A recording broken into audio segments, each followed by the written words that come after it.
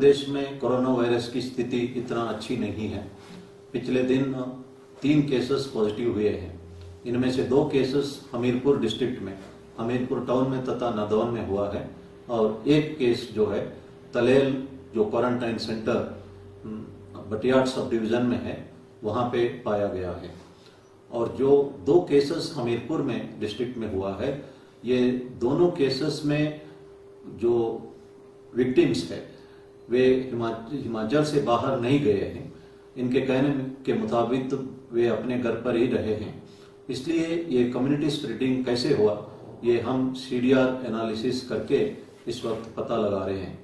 और जो व्यक्ति तलेल में पॉजिटिव पाया गया, ये पहले जो हटली बैरियर में पुलिस के साथ उलझते रहे, दो दो साथी और थे, ये देरा बस्सी से, पंजाब से आए थे। और पुलिस के साथ बदतमीजी की और इनको सिमुता पुलिस चौकी ले जाके वहाँ पे एफआईआर दर्ज की। और अब हमें सिमुता चौकी और जो हटली बैरियर के तमाम स्टाफ को क्वारंटाइन में भेजना पड़ा और नया स्टाफ लगाना पड़ा। और मेरा अनुरोध है, इस तरह पुलिस को गाली गलौज करना, अभद्र व्यवहार करना और पुलिस को चकमा देख के अपने घर पहुँचना और अपने आप को हीरो समझना और ये समाज के लिए घातक साबित हो सकता है। इस वक्त हिमाचल प्रदेश में 21 कोरोना वायरस पॉजिटिव केसेस जो है आ, अस्पताल में उपचाराधीन हैं और कुल मिला के अड़तीस केस हुए हैं। हमें बहुत ही ज़्यादा सतर्क रहने की आवश्यकता है। मैं गाँव के प्रधानों से भी अनुरोध करता हूँ कि वे गाँव में कोई भी व्यक्ति बाहर से आता है तो उसके बारे में तुरंत पुलिस को सूचना करें और उनको क्वारंटाइन में रखा जाएगा। क्वारंटाइन कोई बहुत बड़ा सजा नहीं है और सिर्फ़ घर पर ही रहना है। और हम सब इस वक्त क्वारंटाइन ही ऑब्ज़र्व कर रहे हैं, सब घर पर ही रहते हैं। इसलिए बातें छिपाने से समस्या बढ़ सकती है और इस वक्त जो गाइडलाइंस दिया गया लॉकडाउन के गाइडलाइंस इसको पालना करना एकमात्र रास्ता है। पिछले कल माननीय मुख्यमंत्री महोदय ने हिमाचल पुलिस के लिए लगभग दो करोड़ रुपया दिया है कोविड फंड से। सैनिटाइजर्स खरीदने के लिए, पीपी किट के लिए, हैंड ग्लव्स के लिए, मास्क के लिए, तथा पुलिस तथा होमगार्ड के रिफ्रेशमेंट के लिए। इसके लिए मैं माननीय मुख्यमंत्री महोदय को धन्यवाद करना चाहता हूँ। माननीय मुख्यमंत्री महोदय ने जो रोड साइड में खड़े हुए पुलिस वालों से वीडियो कॉल किया, बात की और उनको धन्यवाद किया और उनका हौसला बुलंद किया। इसी तरह जो फ्रंट लाइन में खड़े अन्य हेल्थ वर्कर से भी उन्होंने बात की। पुलिस विभाग का मनोबल बढ़ाने के लिए भी मैं माननीय मुख्यमंत्री महोदय को धन्यवाद करना चाहता हूँ। और हमारे नॉलेज में एक बात आई है कि जो हिमाचल भवन दिल्ली और चंडीगढ़ से वापस लाने के लिए ट्रांसपोर्ट अरेंज करने के बारे में लिंक्स भेजा जा रहा है, ये सही नहीं है। ऑफिशियल इंफॉर्मेशन आपको ऑफिशियल चैनल में ही मिलेगा। इस तरह का लिंक से नहीं। इसी तरह केबीसी के बारे में भी जो आपका पर्सनल डिटेल्स मांगा जा रहा है मैसेजेस भेजा जा रहा है, ये भी एक किस्म के फ्रॉड है। और गूगल ने कोई 18 मिलियन जो कोविड 19 के संबंधित फेक न्यूज़ जो है के बारे में जो मैसेजेस को इन्होंने डिलीट किया है। और डोमेस्टिक वायलेंस का जो केसेस है, इस वक्त थोड़ा बढ़ रहा है और मेरा अनुरोध है, आपके मन में टेंशन है नौकरी खो जाने का या सैलरी नहीं मिलने का।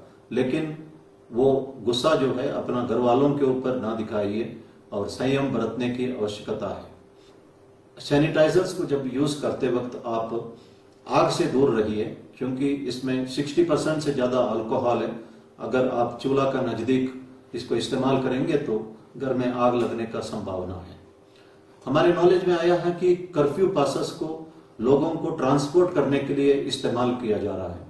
आइंदा हमें इस तरह की बातें अगर नोटिस में आया, हमने concern head of the department को डिपार्टमेंटल एक्शन के लिए चिट्ठी लिखेंगे और साथ में जो अथॉरिटी पासस इश्यू करते हैं, उनसे भी अनुरोध करेंगे कि इन लोगों का पासस कैंसिल किया जाए।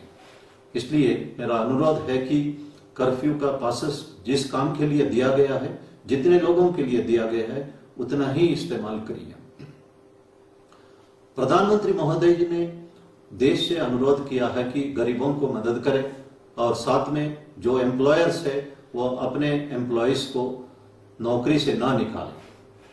मैं कहना चाहता हूँ कि ये सभी धर्म का मैसेज भी यही है। गुरु नानक जी ने जो गुरु ग्रंथ साहिब में लिखा है कि जो कमा के खाता है और कमाई की थोड़ा हिस्सा बांटता है, वो नानक, वो सही रास्ता जानता है। और इसी तरह गौतम बुद्ध ने भी कहा है कि be kind to all the living beings His Holiness Dalai Lama ji ने भी कहा है, मेरा रिलीजन बहुत ही सिंपल है। आप दिल और दिमाग को मंदिर बनाओ and be kind to others तो इतना सिंपल बातों में उन्होंने कहा है। भगवान साईं बाबा ने भी कहा है कि help ever hurt never prophet Muhammad ने कहा है कि जो Allah loves those give charity without disclosing their identity prophet Muhammad ने यह भी कहा है कि God loves those who loves his creation तो हम सबको इन बातों को समझना चाहिए। जो मैं एक इंसिडेंट बताना चाहता हूँ। कल एक तिब्बती मेरे को फ़ोन किया और उन्होंने कहा है कि पुलिस विभाग को वो कुछ सैनिटाइजर मास्क वगैरह डोनेट करना चाहते हैं। और मैंने कहा, मैं गाड़ी भेज दूँगा। मैंने गाड़ी भेजी तो पूरा गाड़ी भर के उन्होंने मास्क हैंड ग्लव्स सैनिटाइजर्स और जूस और पानी का बोतल भर के भेजा है। ये व्यक्ति ने अपना नाम पता तक नहीं बताया, कार्ड तक नहीं दिया और मुझे पता भी नहीं है कि ये कौन है। इस तरह के लोग जो है, बहुत सारे हमें मिलते हैं। मैंने पहले भी कहा था you help others you help yourself मैं दो एग्ज़ाम्पल देना चाहता हूँ। डॉक्टर देवी शेट्टी, जो जिन्होंने नारायण हृदयालय, बेंगलोर में स्थापित किया और जब स्थापना करते वक्त उनका इरादा था कि फ्री हार्ट सर्जरीज गरीब लोगों के लिए करना है।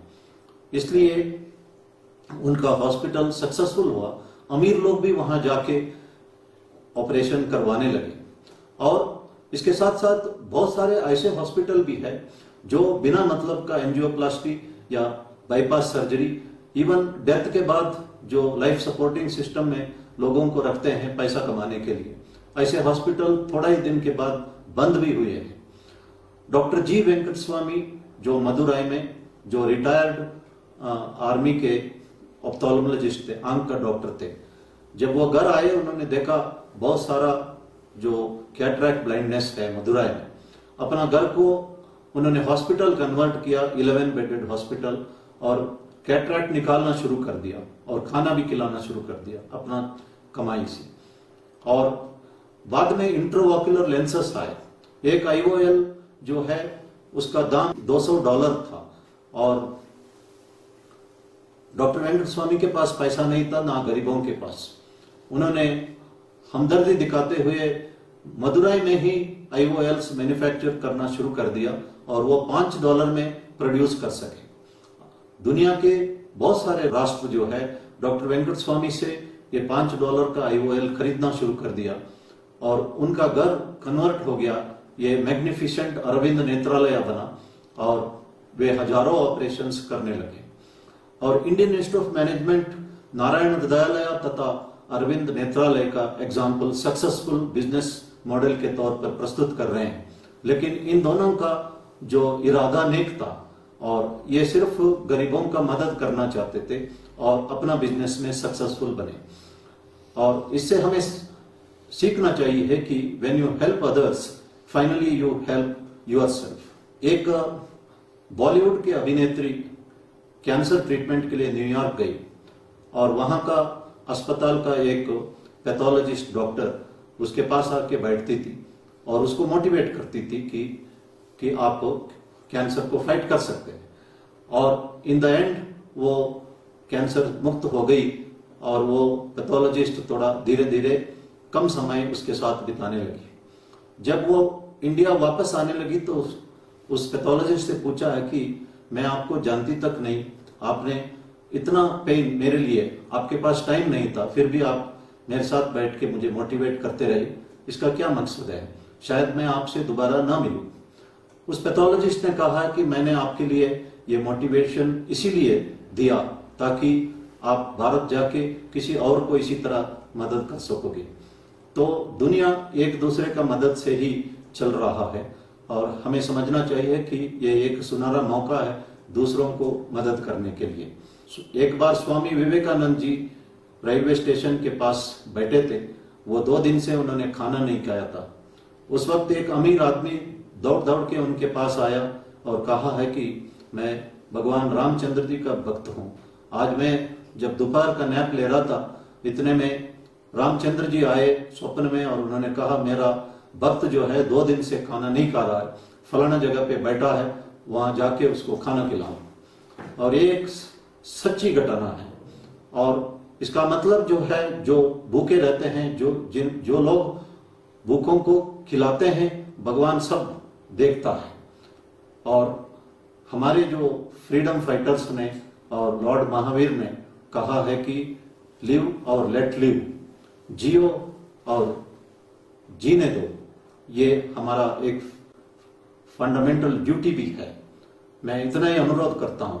प्रधानमंत्री जी के अनुरोध पर तथा आज के हालात देखते हुए हम इस कॉन्सेप्ट को थोड़ा बढ़ाए। Live let live and help live धन्यवाद। जय